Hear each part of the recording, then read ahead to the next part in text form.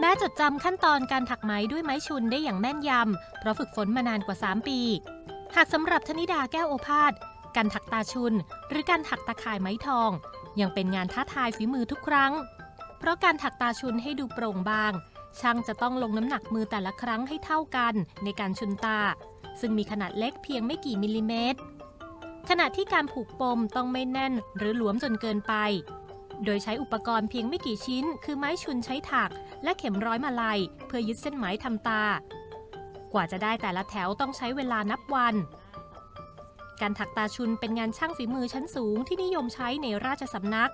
คุณค่าของงานศิลป์ที่เริ่มเลือนหาย ธนิดาจึงหันมาศึกษาอย่างจริงจัง ก่อนถ่ายทอดวิชาให้กับผู้สนใจ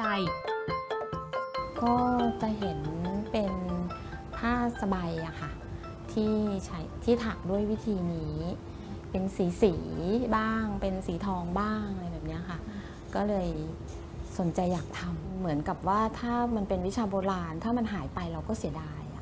นะคะอยากจะส่งเสริมว่าให้คนทำได้ทำเป็น แล้วก็มันจะได้มีชิ้นงานมีอะไรออกมาให้มันกว้างขวางไป ต้องใช้เขาเรียกว่านะสติในการทำแค่พันได้ก็ยากแล้วค่ะ ราะว่าถ้าเกิดพันไม่ดีเนี่ยยุ่งๆเนี่ยตอนที่จังหวะเกี่ยวและดึงเนี่ยมันก็จะทำให้พันกันค่ะ แล้วก็จังหวะมือในการเกี่ยว จังหวะที่เขาเรียกว่าอะไรนะคะ จังหวะเกี่ยว จังหวะดึงให้มันตึงเนี่ยคือเรือนคิดว่ามันค่อนข้างยากทีเดียวค่ะ แต่ก็เเขาเรียกว่าอะไรนะ อุปกรณ์มันน้อยสามารถเอาไปทำเวลาอยู่ว่างๆได้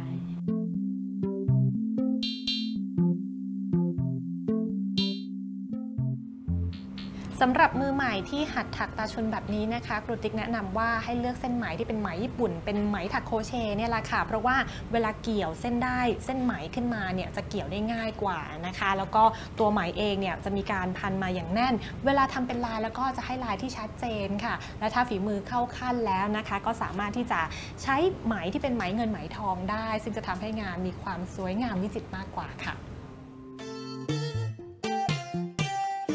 การถักตาชุนในอดีต นิยมถักจากไม้เงินไม้ทอง มีทั้งการถักเป็นผืนสำหรับตกแต่งฉลองพระองค์บรมราชภูสิตาภรณ์ หรือชุดครุยสำหรับพระมหากษัตริย์ และพระบรมวงศานุวงศ์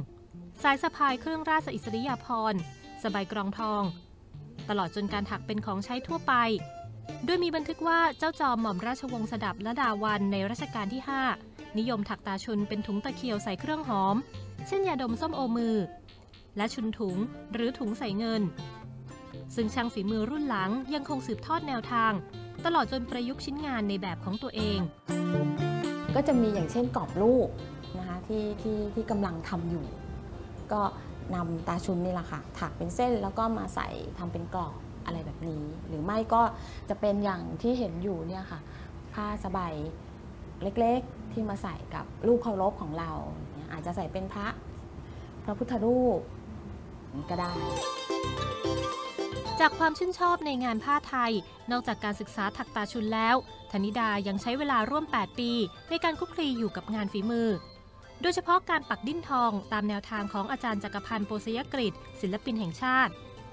สั่งสมประสบการณ์จนสามารถเป็นอาสาสมัคร ร่วมบูรณะเครื่องโขนของกรมศิลปากรในงานมหรสพสมโพธิพระราชพิธีถวายพระเพลิงพระบรมศพ ในหลวงรัชกาลที่ 9 เป็นความภูมิใจของคนรักงานฝีมือที่ได้สืบสารภูมิปัญญาช่างโบราณ อัญชลีโปสุวรรณ ไทย PBS รายงาน